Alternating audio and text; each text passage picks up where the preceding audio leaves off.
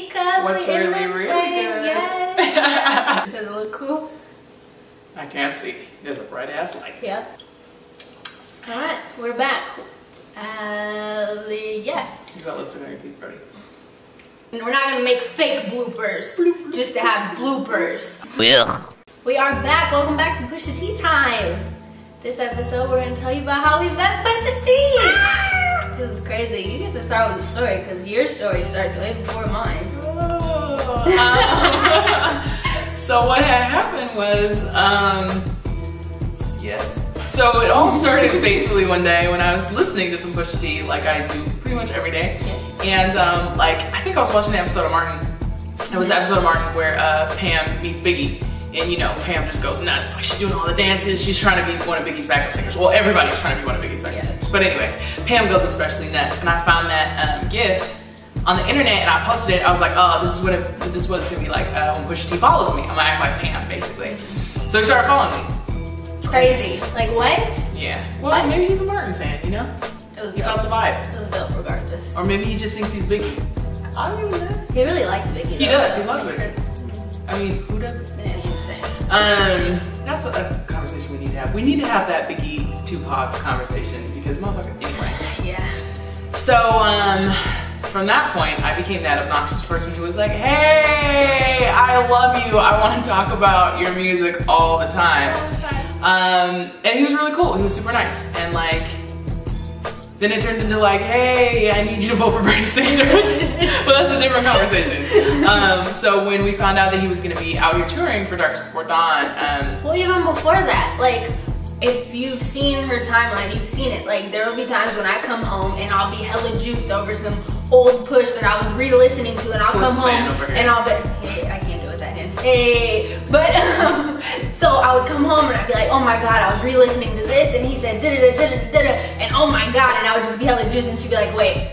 Do that again, and she'd pull out her phone and recording, you know, just coming home from the gym or wherever I was coming from looking crazy, but like that's what it was. It was impactful still to this day. So she would make the videos, not only would she put them on her timeline, but she'd DM them to him and he would just crack up laughing. Like he thought it was the funniest thing ever. And I'm just sitting here like, oh shit, like I don't I've tweeted this a couple times. I don't give a fuck if you think I'm funny because Pusha T thinks I'm funny. So that is what it is. You know what I mean? Like it's crying emojis to me rapping is incredible. it's an emoji, it's a rating scale. Yes. It's a Pusha T crying emoji face rating scale.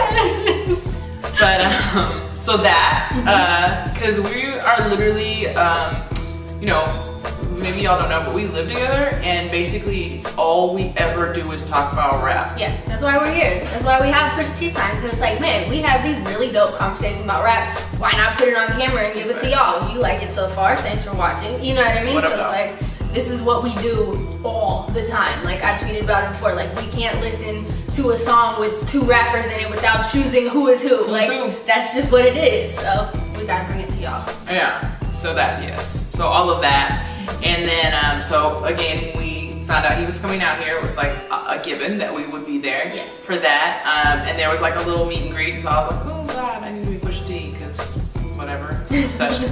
Um, Because and why so- not? Yeah, right, like a short, me. What's that? Um, and so uh, they came, Yeah.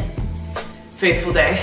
Um, and he was actually doing something out here in Oakland. The show was in San Francisco, but he was doing something out here in Oakland. So I went to that first.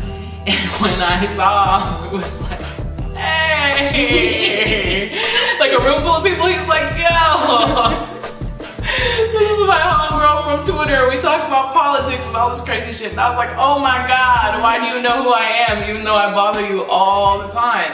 So that happened. Um, and then I was, he was like, where's your homegirl? I'm like, she's gonna be there tonight. I was at work.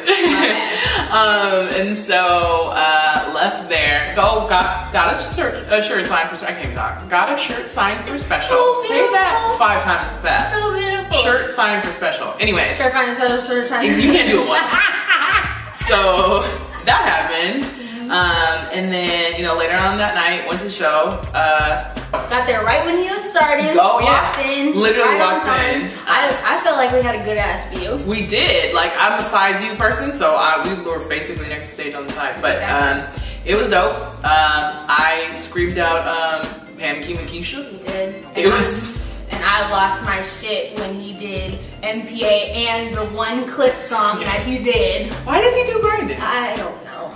I mean, that seemed like it would be the obvious. But he did grind. Oh no no! Why didn't he do one this last time? Yeah. There's, I mean, He did grind he, he did grind it. I was hallucinating. But like, you know, he could have done the whole Clipse catalog without Malice, and I would have been fine. You love Malice though, but I, you know, you could have done Malice's part. I could have. I could have done Ye's part on the Ye songs he did. True, very true. You know, just but saying. still, it was great. And then afterwards was the meet and greet.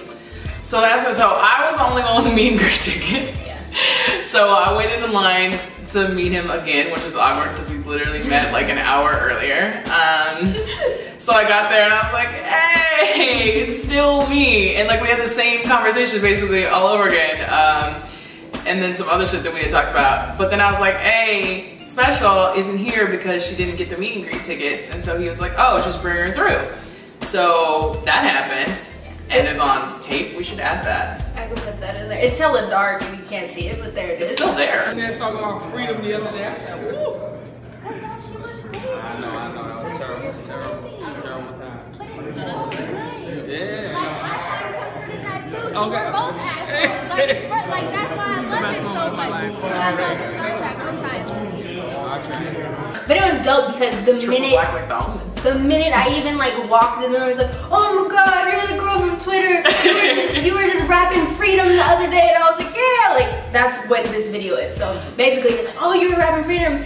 And then he had replied back to me rapping freedom. He was like, oh, that guy's a sicko. And I was telling him, I was like, no, like you saying that you only find comfort in knowing that you can't replace me. Like I feel that same way. So we're both assholes. So then we had like a moment where we were both assholes. And then we took a bajillion pictures, throwing up the Star Trek. Like it was just so dope because yeah, we had like this backstory, but besides that, like he was still so fucking cool. Yeah. And he's like I told everybody the story, like he's Pusha T from the Clipse. Like he's been doing this for fucking 10 plus years, but he's still dope as hell. And usually, you know what I mean, you might meet like some underground dudes who are super cool. You might even meet underground dudes who are fucking way over their heads and aren't even cool. You know what I mean? So like for someone of his stature to like really be hella dope was incredible. You know what I mean? Even with or without the backstory. Like the backstory of course helped because you know what I mean, he knew we were fans and we had some history, but like just somebody that big to be that dope was just incredible. Like amazing. Yeah, our homie that was with us was like, whoa, it was like y'all went to high school together. Exactly. Like that's how just cool that he was. It was like, uh, you know, between the two of us, we've met a lot of people and rarely are people that cool. Exactly. Um, so like, shout, super shout out to him because that shit was like OD amazing and meaningful and like will never be forgotten ever. At all. Like it just I just can't get over it. Like literally that's one of probably my favorite person I've met. And the reason why I say like, oh, with or without the backstory is I'm pretty sure like he took the time to talk to everybody who was in that meet and greet. And you know what I mean? Have, you know, somewhat of a connection with all those people. Our connection, of course, was a little different, but like I'm so thankful for it. We're, we're a little bit crazy. we're a little bit crazy. But yeah, just being able to have that conversation with him was so cool. And then people were like, oh, well, did you guys plug your show? Did you do this? And it was like, no, No. like that wasn't the vibe. Like when you really like have a connection and you have history with somebody, like you want to joke around and talk about the things that you've already talked about and kind of do that. Like it wasn't a time to like plug anything or get a drop or anything like that because it just felt so genuine and so real. It wasn't really like a business thing. And he was so cool that it's like we're probably gonna see him again. And then if those things come up, then they come up and you know what I mean? We do that. But it's like just to have a cool conversation with him about his music and about the things that we like about his music was just really dope. So And Bernie Sanders. that's all you, man. Yep. Billy Burns. Feel Feel the the burn. We're gonna turn that into a new show called Feel the Burn. Oh, Um, Next yes. Yeah, really. Next time on Pusha T time. Are you feeling burned? What can we do that We feel burned. We we've helped Pusha T get closer to feeling the burn. yeah, that's just one of the services we offer. Exactly. No big deal. But since we talked about the Push T story and how he was great, we kind of wanted to highlight other people that we've met that were over the top dope because we have met a bunch of people and not just to be like, oh my god, we met this person who was great. It's more of like, this is something dope. You know what I mean? Because you meet tons of people, they're not always hella cool. So it's like to have these connections with these people and for these people to go out of their way to do cool things is amazing. So it's like that's something that we want to highlight and we feel like whether you're a rapper or not, like that's something that you should carry with you is, you know, to have connection with people and have dope interactions with people. So you go first. Um, so the most memorable person besides Push that I can think of um, is definitely E-40. Um, even though we didn't meet in person, he was one of the first people I ever interviewed, which was epic for me because I'm a Bay girl, and any Bay girl, you know, E-40 is like our dad, Easy. uh, uncle, Uncle Earl. Uncle Um, Earl. so um, I interviewed him over the phone, and so uh, the only person outside of this room that I know is a bigger E-40 fan than us is my brother. My brother's uh, six years older than me, so he really came up with E-40. Like he was right in that time, that era, and he was the biggest E-40 fan, like just the biggest E-40 fan. And it was like a couple days before his birthday. So I remember when I finished up the interview with E-40, which was dope. I was like kind of nervous to ask him, but I was like, yo, you know, it's about to be my brother's birthday. Like, would you mind just like leaving him like a little message or? And he was like, oh yeah, yeah, yeah, it's good. Like, what's his name? Like, you know, blah blah blah. So like we recorded this whole little thing for him, and it was just super dope. And I remember calling my brother on the phone and like playing this for him, and I swear I could hear him crying in the background. I was like, okay. but he was just E-40 was just so gracious and like so humble and like low key, and he didn't make it seem like it was nothing to him. Like it was just it was just cool. Like we were just family. It was good. So E-40 definitely gets big shouts from me for just being I mean, relevant as fuck, obviously, but just a cool ass dude. Exactly. Yeah. I have really bad memories. I can't even remember the really good ones. So the most recent one was Curren$y. I did special edu- education with Curren$y. Um, that was really dope just because he has so much music and so like so many songs that he hadn't think I'd heard that I had heard and stuff like that. But besides that, because I mean, nine times out of ten, my game show is fun to do. That's why I do it. But you know, Really, she's the plug. Really, she's the plug. you know. But afterwards, there was this time period where he just needed like somewhere to kick it because he was supposed to be in a meeting. There was already somebody in there, whatever, whatever. So he had sat down by my desk because we had already done the episode of special education. We were just chilling, and I'm kind of like working, but still kind of like want to keep him entertained.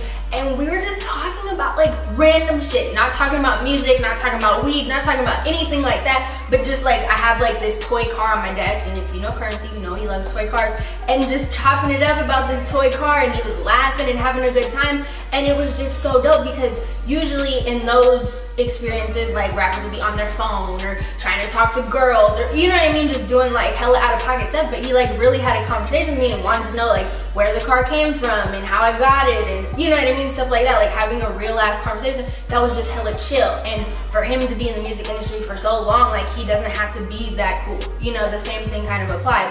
So it wasn't like he really did anything over top, but just be hella cool. Like, and that was really dope, and that will always stick with me. Like I tell people, everybody's like, "Oh my God, was Curren$y hella cool?" I was like, "Yeah, honestly, it was one of the coolest people I met." So, shout out to Curren$y, Jet Life, what up?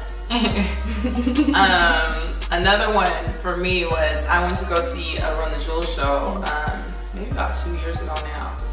Um, and at the time, I walked in this Run the Jewels show, and I sent a tweet to Killer Mike, and I was like, "Yo, I'm at your show, and it looks like a Blink 182 concert in here."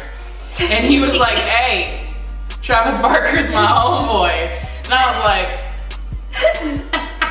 Blink 182 is tight, but that just just kind of sets the mood for what that looked like. It Yeah. looked exactly how you thought it looked. All right, it was a little crazy, but it was San Francisco, so you know whatever. But um, later on, I was walking around backstage, um, or I was walking through to get to backstage, and he see me walking by, and he was like, "Hey, I know you from Twitter," and I was like, "Yeah, what's good? You know what's up?" And he was just, he was hella cool. Like he he approached me like I was somebody, but he was he is the somebody, you know.